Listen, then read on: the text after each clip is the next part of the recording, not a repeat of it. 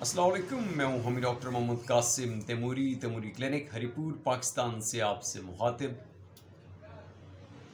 अमराज मदा के मतद cases daily practice में आते हैं और इसमें बहुत सारे ऐसे पेशेंट्स होते हैं जो अमराज मदा के साथ अमराज जिगर का शिकार होते हैं। जिगर के साथ पित्ते की पथरी का शिकार होते हैं। इश्यूज़ गाल स्टोन का हो इश्यूज़ एलिवेटेड लिवर एंजाइम्स के हो लिवर इन्फेक्शन हो हेपेटाइटिस हो मैदे की सोजिश एच पाइलोरी हो सिम्टम्स टोटली मिक्सअप होती हैं, एक जैसी होती हैं। मरीज़ यही कहता है, मुझे भूख नहीं लगती, मुझे, मैं जो खाना खाता हूँ, मुझे लगता नहीं है। यहाँ पे दर्द होता है, सूजन है, डकार आ रहे हैं, बदहज़मी उसको महसूस होती है। तो इसकी जो डायग्नोसिस होती है, जो उसकी तशखीस होती है, पहली बात तो हमारे पास जो पेशेंट आता है, उसकी हम एज पूछते हैं, उसकी जेंडर तय करती है। अब जब ख़वान आके कहती हैं, जी, मुझे मैदे की तकलीफ़ है, मुझे डकार आ रहे हैं, मतली महसूस होती है। तो ख़वान में सबसे ज़्यादा जो चीज़ होती, पाई जाती है, वो गाल स्टोन है। मर्दों में है लेकिन ख़वान में गाल स्टोन बहुत ज़्यादा है। तो फिज़िशन का जो फ़र्स्ट जो उसका डाउट होता है, वो गाल स्टोन की तरफ़ जाता है। मैदे की infection H pylori helicobacter H pylori infection बहुत ज़्यादा कॉमन है। मैदे की सोजिश गेस्ट्राइटिस और इसके साथ गिल्ड की सिचुएशन जो होती है एसिड रिफ्लक्स करता है। तो ये एसिड रिफ्लक्स करना, ये तो क्लियर कट मैदे की सिम्टम्स आ जाती हैं। लेकिन मतली महसूस होना, भूख ना लगना, ठीक है? और इसके साथ, भारीपन महसूस होना एनर्जी लेवल डाउन रहना, ये जिगर से और पित्ते के साथ मुंसलिक होती हैं। पित्ता जरी बात है, वो जिगर के नीचे होता है और जिगर जो है वो उसके बाइल कॉमन बाइल डॉक्टर के ज़रिए उसको जो है वो बाइल देता है। अब जिगर, मैदा, पित्ता, इनकी सिम्टम्स मिक्सअप होती हैं।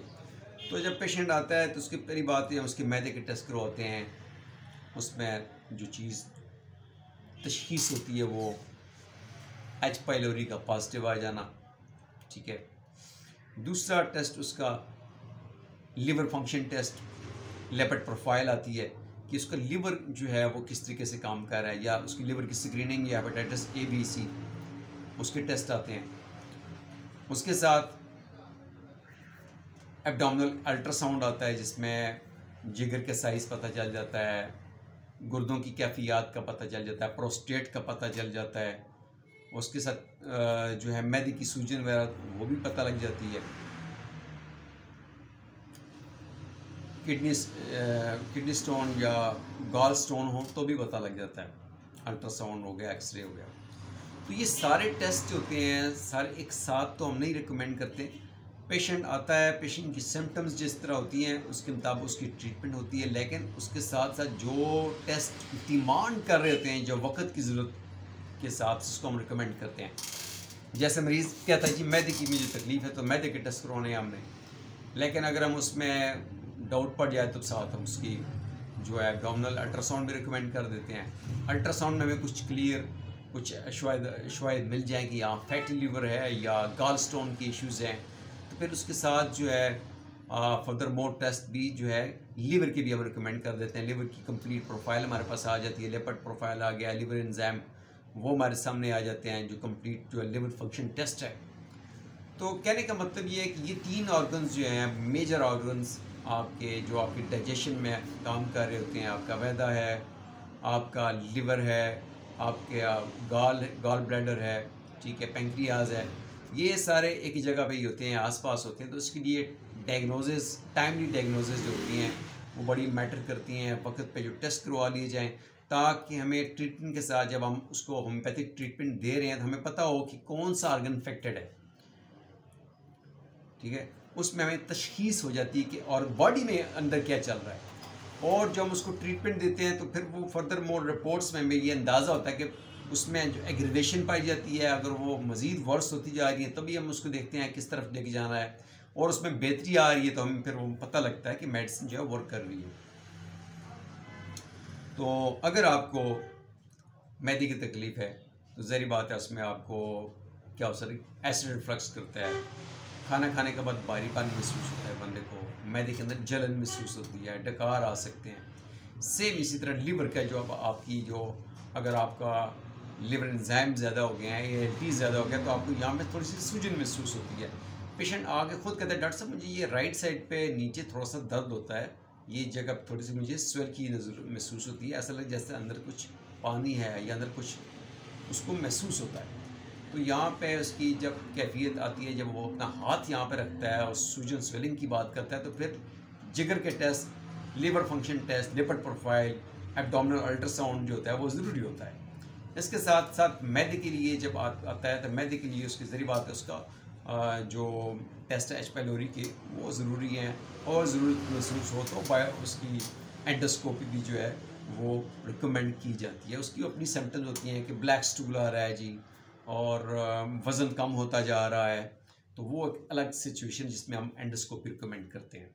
और बर्निंग सेशन सेंसेशन बहुत ज़्यादा है, बहुत ज़्यादा जलन है।